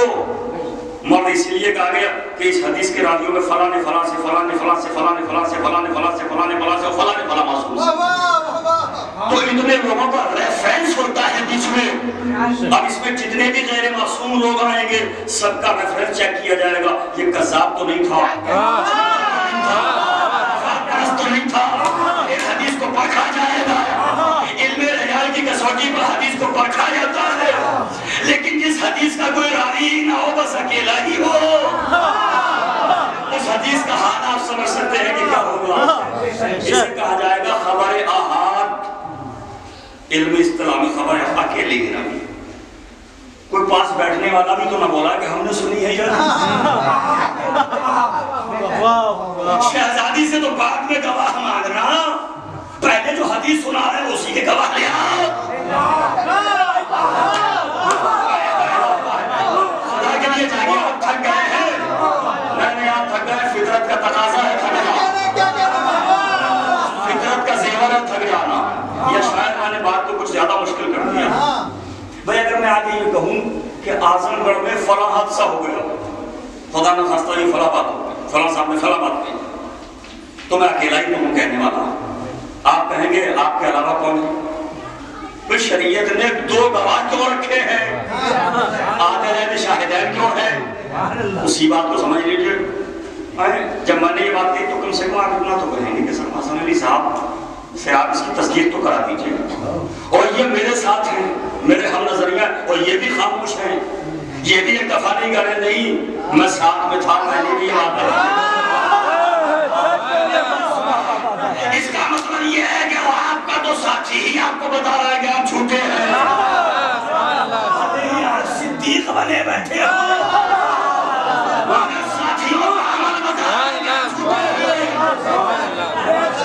बहुत शुक्रगुजार। भले आप कुछ बने बैठे साथियों का अमल बता रहा है कि कोई एक भी तो ना बोला। जो ये कहता नहीं साहब इनके साथ हमने भी सुनी है हदीस। इस हदीस का हाल तो है। जिस हदीस को बुनियाद बनाकर शहजादी के मुकदमे को खारिज किया गया था इस हदीस को बनाकर बुनियाद बनाया। था अभी तक मैंने आपको फजाइल भी सुनाए मोहताब नहीं अब जरा से तारीखी नतज सुन लीजिए कुछ। चूँकि मुझ पर प्रेशर है, बहुत इसरार है कि बहुत देर पढ़िएगा, दो घंटे पढ़िएगा और ढाई घंटे पढ़िएगा। इसलिए मैं आपको इबादत में मसरूफ रखते हुए आगे बढ़ा और थोड़ा सा वकालत का आपके सामने एक नमूना पेश करते हुए अपना नाम भी अहले बैत के और खुदर सलामुल्लाह, शहजादी सलाम के हक के तरफदारों में और वकीलों में उसी तरह से लिखवा रहा हूँ। जैसे यूसुफ के खरीदारों आई इससे ज़्यादा मेरा हाल नहीं है। आप ये समझें कि मैं अहले का वकील बन जाऊँ।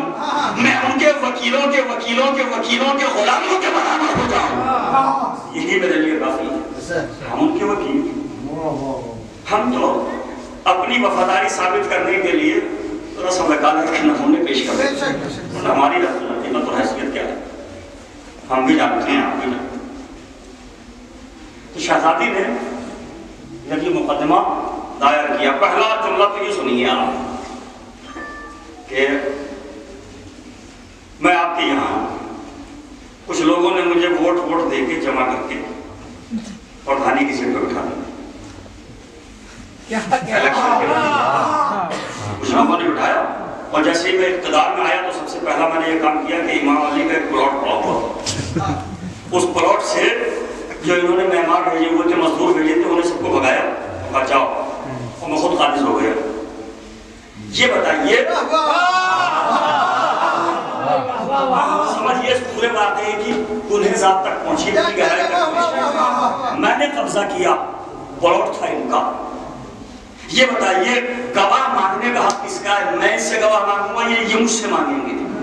और किससे गवाह मांगेगा? ये मुझसे गवाह मांगेंगे उसूली तौर पर। चूँकि मेरी तरफ़ मुतवज्जह रहे ये मुझसे गवाह मांगेंगे। बेशक बेशक। मैं इसे गवाह थोड़ी मांगूँगा। उल्टा छोड़ को तो को। काटे मैं इसे गवाह मांगने बैठ जाऊँ आप गवाह लगे भाई उसूल ये है अदालत का कानून ये है। कि ये मुझसे गवाह मांगे। कि मौलाना गवाह आइए कि ये आपकी प्रॉपर्टी है? मैंने पूरा फिदा कर दिया तारीख का सबसे बड़ा अकलिया ये है, अरे मियाँ, अगर कोई अदालत से ताल्लुक रखने वाला गैर मुस्लिम, यहूदी, ईसाई, क्रिश्चियन, अगर इस पूरी तारीख को और पूरे मामले को पढ़ेगा तो सबसे पहला तो यही सवाल वारिद होता है, सबसे पहला क्वेश्चन मार्क तारीख की पेशानी पर यही लगता है कि जिसने तमसा किया, वही गवाह मान रहा सुभान अल्लाह सुभान अल्लाह सुभान सुभान अल्लाह सुभान अल्लाह क्या कहने सुभान वाला अल्लाह। ये प्रॉपर्टी कब्जाई गई मालूम है। क्या हुआ जो मुजरिम है। वही जज है जो वही जो वही मुंसिफ है वही जज है वही गवाह इसके लिए शेर भी है वही गवाह वही मुंसिफ वही मुद्दई वही मुंसिफ कुछ इस तरह का शेर मुंसिफ भी वही गवाह भी सब कुछ वही बने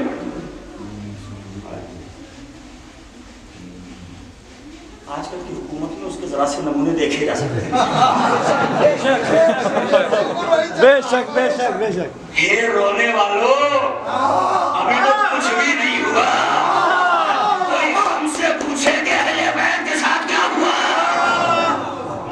छीना मसलन भी छीनी लोग पूछे तो सही क्या हुआ? ये तो कभी तारीख पढ़ने का मौका हो तो मैं बताऊँ कि क्या हुआ? क्या गुजरी? अच्छा। तो गवाह किसे देना चाहिए पूरा मुकदमा हुकुम आपके सामने चल लफ्जों गवाह मांगना चाहिए थे शहजादी। हुआ ये कि कुरान की आयत थी, खैर छोड़ना तो वसीयत करके जाना। अब मेरे सामने कई बातें पहले क्या समझाऊं? इन बच्चों को बुज़ुर्ग मुझसे भी जाते बच्चों को क्या समझाऊं? पहले मेरे नौजवानों इस बात को समझो, एक होता है माले गनीमत इस्लाम में, एक होता है माले फे अब पहले दोनों को एक्सप्लेन करूँगा, ताकि बात वाजह हो जाए। माले गनीमत वो है जो जंग के बाद, जब जंग जीत जाए, वो हासिल हो तो है माले गनीमत अब माले फै क्या? है सूरह हश में जाके पढ़ो। माले फै क्या? है कुरान ने बताया कि माले फै क्या? है जिसमें ना घोड़े दौड़ाए जाए न ऊँट दौड़ाएगा न जंग हो न जंग हो न हर फनून हर गुजर दिखाए जाए न खून बहे न कत्ल हो न कोई मैदान में जाए न कोई वापस आए।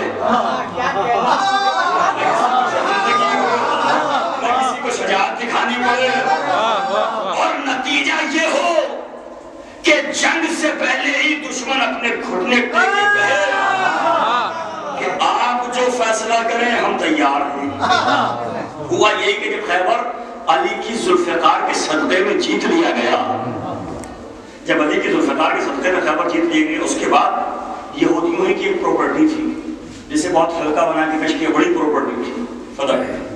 पैगंबर जब उधर से गुजरे अब इन्होंने सोचा कि जब बड़े बड़े मरहबो अंतर और हारिस की खैर ना हुई तो पैगंबर के लश्कर में तो अली हैं। हम अली से कैसे निपटेंगे।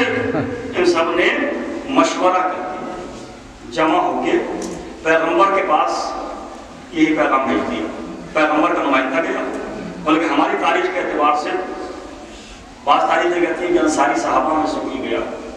मगर हमारी तारीख नहीं कहती और हमारा अकीदा भी यही कहता है कि जिसे हर जगह नबी ने भेजा था उसी को भेजा है। जब उन्होंने अली को देखा आते हुए अली से कौन लड़ेगा कब पैगंबर से कह देना? अपने नबी से कह देना कि हम तैयार हैं। ये आधा हिस्सा हमारा आधा तुम्हारा या पूरा हिस्सा तुम्हारा। है? जहाँ बात बनी उस बात को बनी इसमें मुसलमानों का तो कोई हाथ है ही नहीं। न किसी ने तलवार चलाई न कोई घोड़े पर बैठा ये मैं कहूँ तो आप मुझे सजा दे दें तो कुरान कह रहा है। सूरह हश्र में जाके आयत पढ़ना। तो जो माले गनीमत होता है वो होता है मुसलमानों का हक। अब नतीजा सुनो नतीजा। ये जो फिदक की जागीर थी ये गनीमत में नहीं। ये माले फै मिला था दुश्मन ने खुद ही घुटने टेक के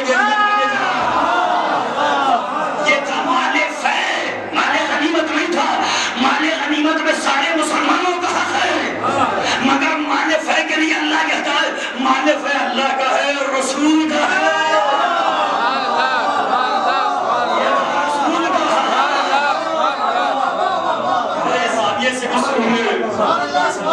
है। ये इस अंदाज से भी सुनना ज़रूरी है, तारीखी मालूमात भी होना चाहिए। ये मजलिस हो रही है तो इस अंदाज से तारीखी मालूमात भी होना चाहिए। ये था मालिफ है। और कुरान ने कहा था मालिफ है के लिए सूरह अशर कि अल्लाह का है, रसूल का है। फिर आयत आ गई वहाँ तसिल कुर्बा कहूँ ए मेरे हबीब कुर्बा को उनका हक दे दो। नबी ने यह हक दे दिया। तो इस हक में मुसलमानों का तो कोई हक ही नहीं है। तो रसूल का है। बाद रसूल औलाद रसूल का हक है। क्योंकि मालिफ है तारीख गवाह है। और बाद रसूल शहजादी की ये जागीर थी। क्योंकि रसूल के बाद एक लौती बेटी थी। अच्छा वो जो कह रहे चार बेटियाँ थी यहाँ भी ये बात समझ में आ जाती। अगर चार थी आपकी बकौल तो जब सैयदा ने अपना हक मांगा किसी और को भी आगे कहना चाहिए था ए फातिमा तुम्हारा आगे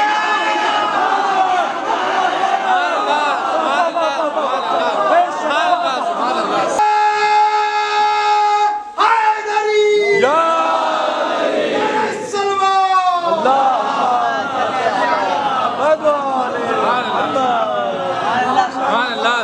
मैं नताइज पर गुफ्तगू कर रहा हूँ तारीखी निचोड़ आपके सामने पेश कर तारीख का लहू निचोड़ के आपके कशकोले समात में रख। रहा हूँ इसलिए इस बात को नौजवान खसूस के साथ समझ ये था मालिक है रसूल ने दिया शहजादी को मिला।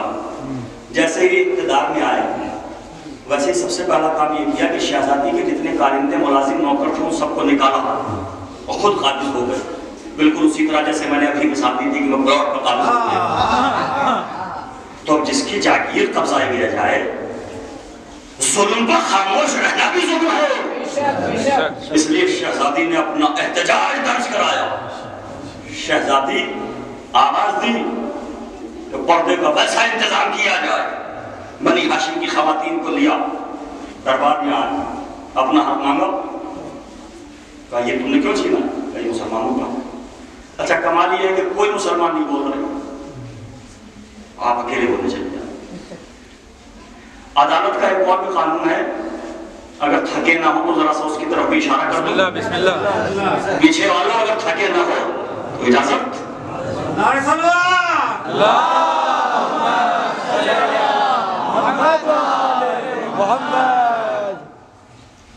पहली बात तो ये है कि मैंने इमाम अली का प्लॉट गस्ब किया छीना कब्जाया एक पार्टी मैं हूँ एक ये तो फैसला आदिल मुंसिफ वो होगा जज वो होगा जो ना मैं हूँ ना ये। बेशक। कोई थर्ड पर्सन ही होगा ना। आए आए। खुदा की कसम मैंने पूरी तारीख इस जुमले में रख दिया सामने। इस पूरी तारीख का निचोड़ ये है जिसने कब्जाया है जज भी वही है। हालाँकि इसी दरबार के हमारे और भी वाकयात गवाह हैं। इसी दरबार में शहजादी गई हुई इसी दरबार के और भी वाकयात हैं कि जब दरबार में मुकदमे आते हैं, वो फैसले होते हैं तो और लोगों को जमा किया जाता है। तुम भी आ जाओ, तुम भी आ जाओ, तुम भी आ जाओ, सबको जमा किया जाता है। मगर ये शहजादी का हक, इकलौता फैसला था कि कब्जाया भी खुद, फैसला भी खुद। खुद ही मुंसिफ हैं, खुद ही मुद्दई हैं। और खुद ही सारा फैसला कर दिया अब शहजादी आई तो इन्होंने ये हदीस पढ़ हदीस के जवाब में शहजादी ने क्या पढ़ा? शहजादी ने हदीस के जवाब में आयतें पढ़ी। जहन में बात है, रसूल के सामने क्या कहा? हम कुरान वाले। भाई, कुरान वाले हो तो कुरान की आयत पढ़ो ना। हदीस क्यों पढ़ रहे कुरान की आयत नहीं पढ़ी। शहजादी ने हदीस, झूठी हदीस के मुकाबले हदीस सच्ची नहीं पढ़ी। बल्कि शहजादी ने कोई हदीस नहीं पढ़ी। शहजादी ने आयतें पढ़ी। और कहा कि तुम कह रहे हो कि नबियों का वारिस नहीं होता। मैं तुम्हें कुरान में दिखाती हूँ, सुलेमान और दाऊद की विरासत का ज़िक्र कुरान में है। शहजादी ने विरासत की आयतें पढ़ी। मगर आयत का जवाब आयत से भी नहीं दिया गया। गवाह लाओ अब गवाह मांगा जा रहा शहजादी गवाही में गवाही गवाही भी शहजादी किसको मानी? जहाँ जनाब अमीर अलैहिस्सलाम का तस्करा है हज़रत हसनैन अलैहिस्सलाम का तस्करा है जनाब ऐमन का तस्करा है गवाही में। वहीं पैगंबर के गुलाम का भी तस्करा है कि शहजादी उसे भी लाई थी गवाही में। अच्छा गवाहों पर जरा सा एक सरसरी नज़र डालिए शहजादी के मुकदमे के गवाह कौन? जनाब अमीर। अल्लाह अकबर। अगर आपके पेशे नज़र आए तो मफहूम हो तो आप अपनी जगह बैठेगा नहीं शहजादी ने किसे अपने मुकदमे का गवाह बनाया? पढ़ो सूरह इराद यक़ूल लज़ीना कफरू मुरसला। कुल कफा बिल्लाहि शहीदा बैनी व बैनकुम व मन इंदहु मिनल किताब। मेरे हबीब से कहो मेरी गवाही के लिए अल्लाह काफ़ी है। काफ़ी है। वो काफ़ी है जो साहिब इल्म किताब है।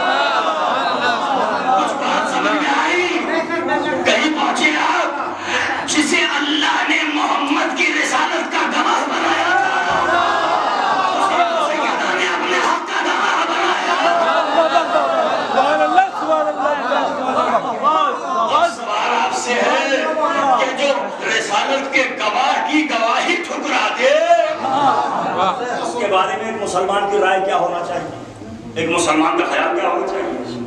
अच्छा अपने शहजादों को गवाह बनाए।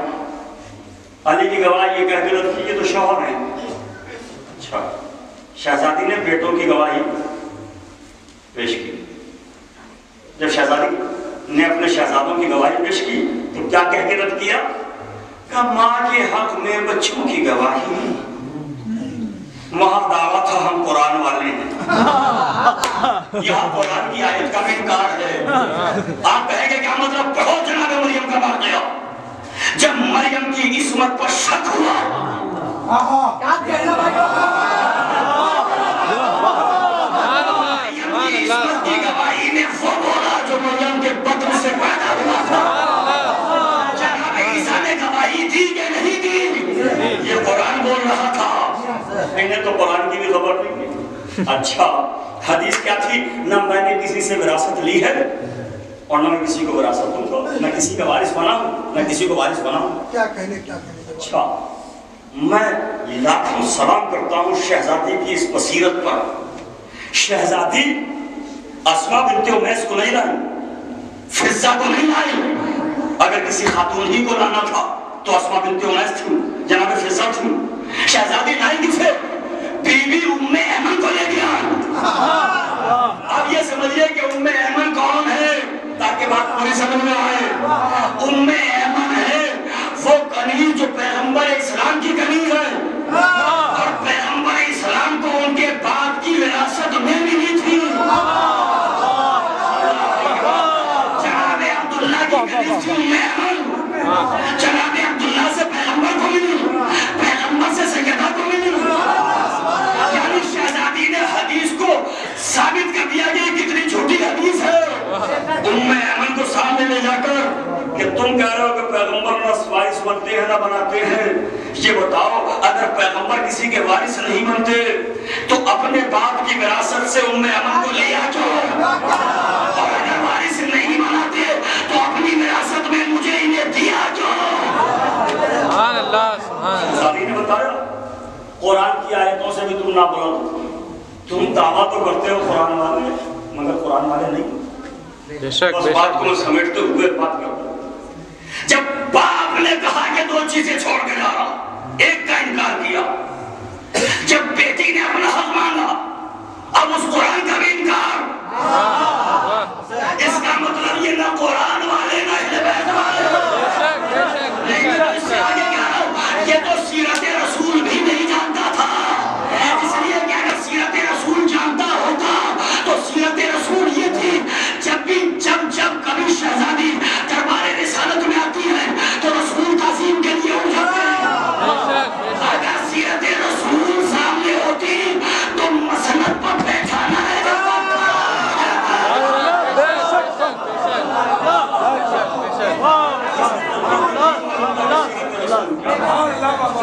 सीरत रसूल की जो दौलत थी शहजादे दरबार में आई थी बस अजीजों मेरी घड़ी पर नज़र पहुँची अभी तो मैं बहुत देर चाहूँ तो पढ़ सकता हूँ मगर फितरत का जेवर है थकावट और इबादत के लिए ये भी कहा गया है नमाज़ जमात के लिए भी हुक्म है कि इस बात का भी ख्याल रखा जाए कि कुछ ऐसे लोग होते हैं जो बहुत देर तक बावजूद नहीं रह सकते।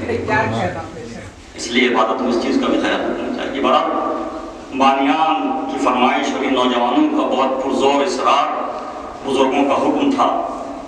तो मैंने आज मामूल से हट के बहुत देर में इसको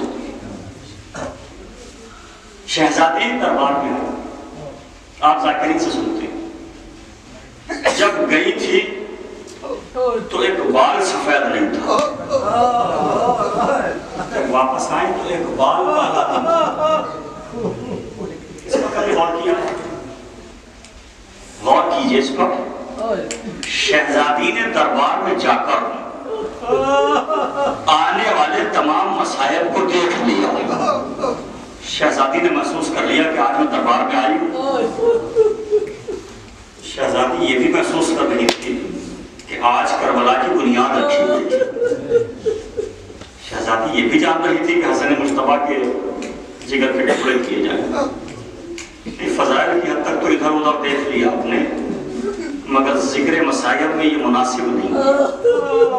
इसलिए कि आज जैनब कुलसूम के रुमाल आए होंगे ये मुनासिब नहीं है कि शहजादियों के रुमाल आपकी आँखों की तरफ़ और आपका चेहरा किबले से इधर उधर हो जाए। बस अजीजों, फजाइल में कोई कितने ही नारे लगाए, कितनी ही दाद दे। फजाइल तो इसलिए पढ़े जाते हैं ताकि मसायब सुनाया जा सके और ये बताया जा सके कि जिनके फजाइल इतने थे, उन पर इतनी मुसीबतें टूटी ये अंधेरा क्यों हुआ है? आप ये भी समझते हैं।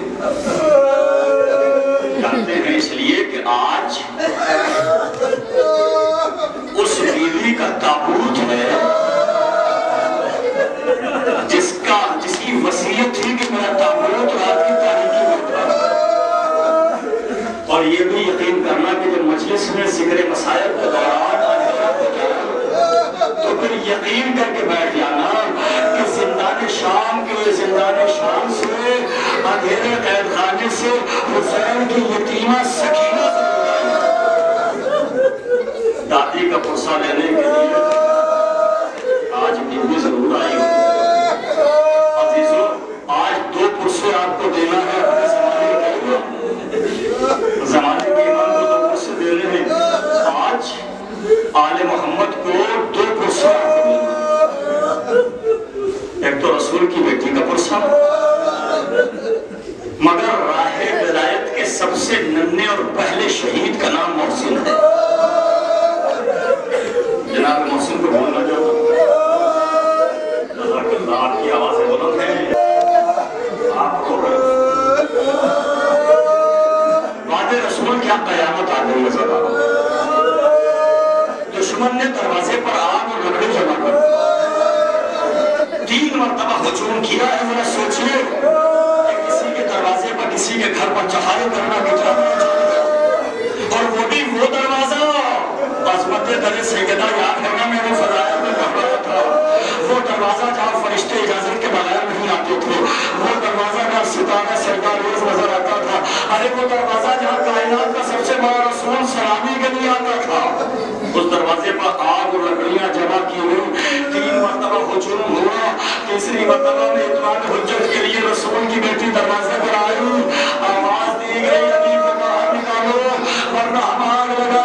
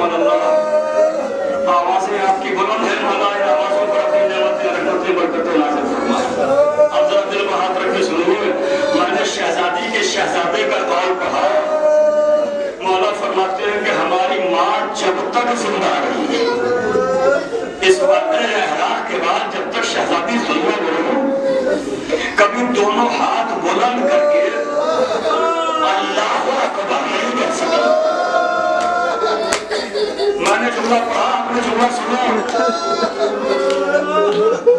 शहजादी दोनों हाथ नहीं बुलंद कर पाते। नमाज़ में भी शहजादी के हाथ बुलंद नहीं होते। नमाज़ की कैफियत सुनिए शहजादी की। जब शहजादी नमाज़ पढ़ती है, हाथों को बुलंद नहीं कर पाती। जब तस्वीर पढ़ती है तो एक हाथ पर हाथ से तस्वीर पढ़ती है। दोनों वजह आपको मालूम है पहलू में हाथ क्यों है, ये तो आप जानते हैं। इसलिए कि जब सालिमों ने चलता हुआ दरवाज़ा गिराया तो शहजादी का पहलू टूट गया। पसलियाँ टूट गई शहजादी की। लेकिन ये हाथ क्यों बुलंद नहीं होता शहजादी का? अब जरा दिलों पर हाथ रखी के सुनना। जब दरवाज़ा जला और हज़रत अली सलाम को कैदी बना के ले जाया कायनात के रस्सी बांधी ले जाया जाने लगा उधर शहजादियाँ तो अपनी जैनबों को सुनने का अम्मा हमारे बाबा पर मुसीबत आ गई अरे हसनैन बिलक बिलक के रोने लगे शहजादी अपनी पसलियों का रंग भूल गई मौसम की शहादत भूल गई आगे बढ़ी और बुरा कुछ आगे बढ़ने के बाद अमीर कायनात की अबा को पकड़ा शहजादी ने मौला के दामन को थाम लिया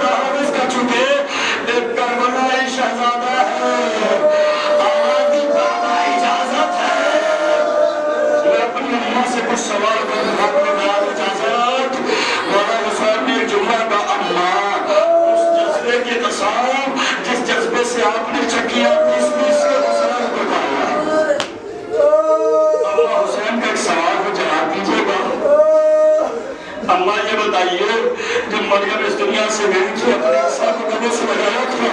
अब आप इस दुनिया से जा रही अपने हुसैन को गले लगाने लगी रहता।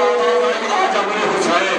अम्मा जैसे ज़िंदगी भर तुम्हारे बुलाइए कफन टूट गए